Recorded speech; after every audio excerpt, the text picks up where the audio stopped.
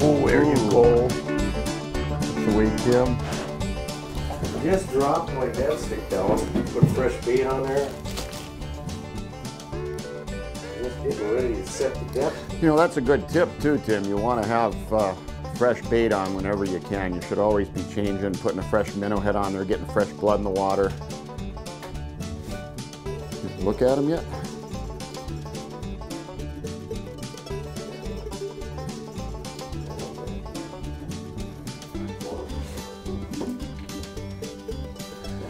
Oh yeah, look at that one.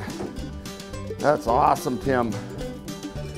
Now, what a way to start us out. Tim, you got the big first big walleye bite. Why don't you open the show? Tell us what we're doing. Yeah, welcome everybody. This is Tim Hill up at Arnesen's Rocky Point. We're, we're uh, fishing out of our day rental houses. Uh, just trying out a new spot. We moved this house a couple days ago. Roger came to visit me and just got our first walleye. Beautiful big fish. Rod and reel selection is easy for this type of fishing. We're using 24 to 30 inch rods. Either light or medium light power is more than adequate even for the big fish up here. You don't need heavy action rods. Uh, the shorter rods are great for the dead sticks. You can position them easily right over the hole.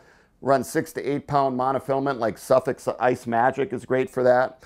Um, if you like to use braid, especially on the jigging rods, uh, a good braid like Sufix Ice Braid 10 pound with a little barrel swivel in line and then a five to eight pound fluorocarbon leader for your dropper.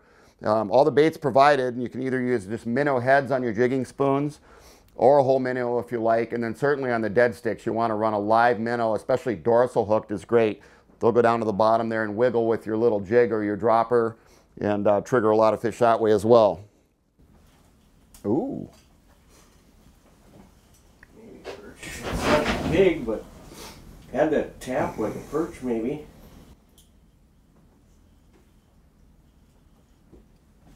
Yep, what did I call? Perch. Oh, nice jumbo. Spitting out all my bait that I missed. I Light got one on too over here. Not quite as nice as yours. All right. Good job, guys.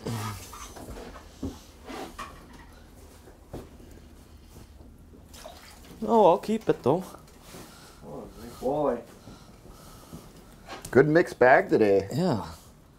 Some beautiful walleyes, some beautiful perch. Uh, it's pretty hard. eh? That's probably halfway decent. Decent enough I'm gonna have to get down and get it.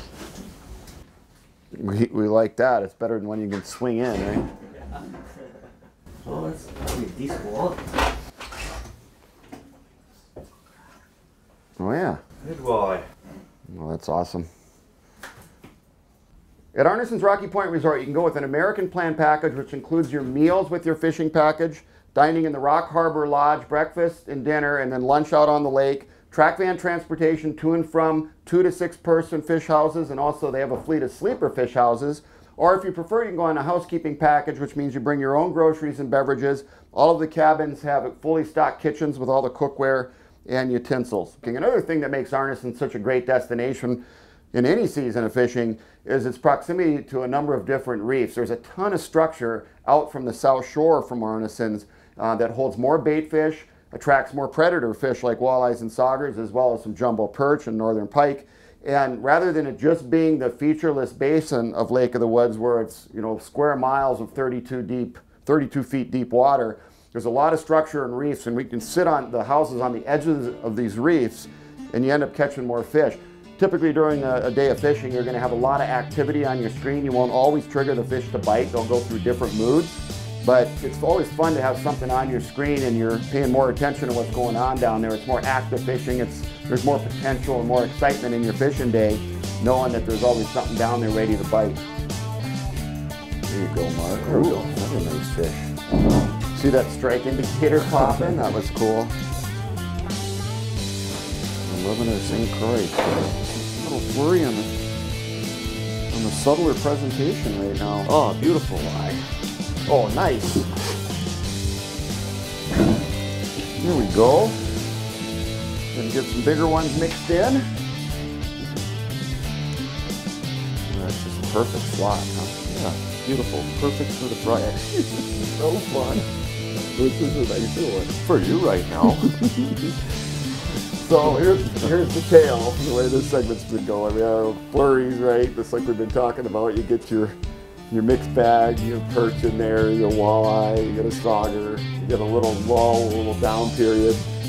So we've been changing up lures, right? Looking for the secret weapon. You gotta try different stuff. And I put on a, a lure that I used to fish with up here all the time, that I haven't fished with in a long time.